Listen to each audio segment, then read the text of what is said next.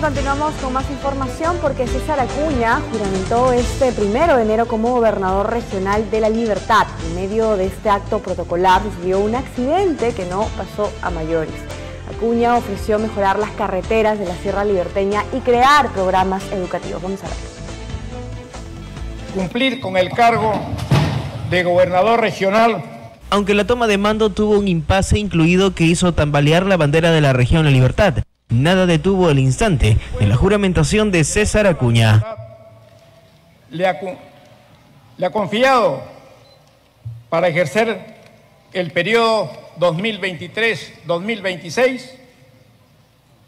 Por Dios, por mi familia y todos los libertarios, sí juro.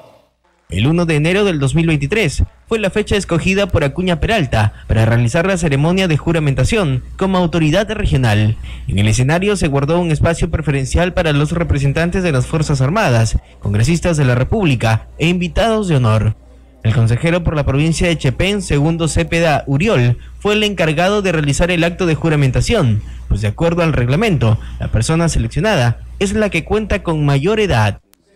En la actividad también se procedió a la juramentación de los 17 consejeros regionales, cuatro de Trujillo, dos de Patás y Sánchez Carrión, y uno en las provincias de Ascope, Pacasmayo, Otusco, Chepem, Virú, Santiago de Chuco, Julcán, Gran Chimú y Bolívar.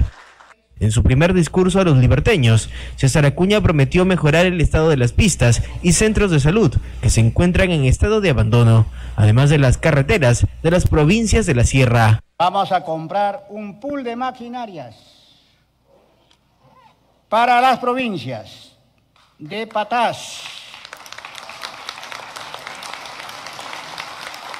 pool de maquinarias para Patás, para Sánchez Carrión, para Santiago de Chuco, para Otusco, para Julcán, para Gran Chimú y mi Alto Trujillo.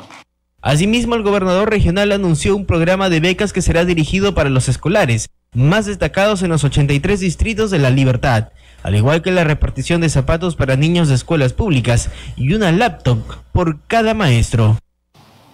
y termino mis compromisos. Compromiso de invertir por año 3 mil millones por año. En los cuatro años vamos a invertir 12 mil millones de soles. Si no, si no invertimos, no hay trabajo, no hay crecimiento, no hay desarrollo y no salimos de, no salimos de la pobreza. Tenemos que salir de la pobreza. Dentro de los planes de la región en el nuevo periodo, también se encuentra el impulsar un megaproyecto para trabajar con la mancomunidad regional, pues se busca conectar al norte, centro y sur del país con un tren. Este anuncio lo hizo solicitando el apoyo de los congresistas de la República. De esta manera es como Acuña Peralta inicia sus funciones como gobernador regional. Los ciudadanos le dieron una nueva oportunidad a quien tuvo la región en sus manos, pero decidió abandonarla para intentar llegar a la presidencia de la República. Los liberteños solo esperan que esta vez no los defraude.